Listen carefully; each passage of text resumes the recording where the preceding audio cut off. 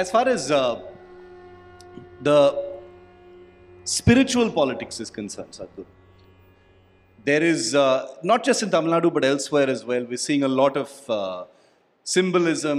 You know, the temple hopping that happens. The big competition, everybody is rushing into temple after temple. We have one of the youngest electorates that will be going to vote in this current cycle of elections.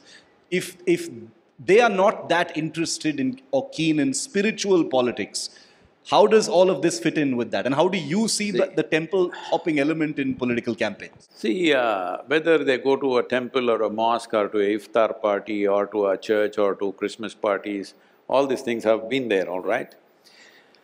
But uh, generally, it is the majority community who was left behind. Now they're catching up.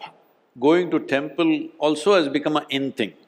Otherwise, going to Christmas parties and going to iftar parties were in thing because in Christmas party there was wine, in iftar party there was uh, biryani, in temple only water. so it was not a cool thing. But now that water has become sacred, in the last probably five, six years this evolution has happened, now everybody wants to be seen in a temple. This got nothing… To, even the iftar has nothing to do with Islam or Christmas has no, Christmas party has nothing to do with Christianity. Temple going by politicians like this has nothing to do with Hindu way of life. They are doing every trick possible to get maximum number of votes. So don't call it spiritual politics, it's just politics. But instead of saying what I will do, you're trying to show who I am. My intention is that is what we need to change. Who you are, I don't care. What will you do? Is the only question.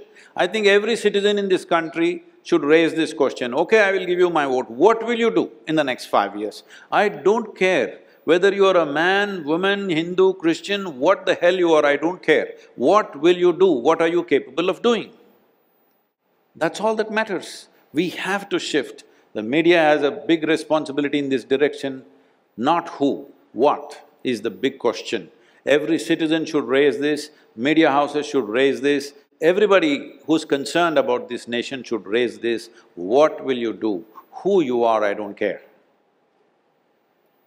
Right now, by going to the temple, they're trying to show who they are. They're not saying what we will do.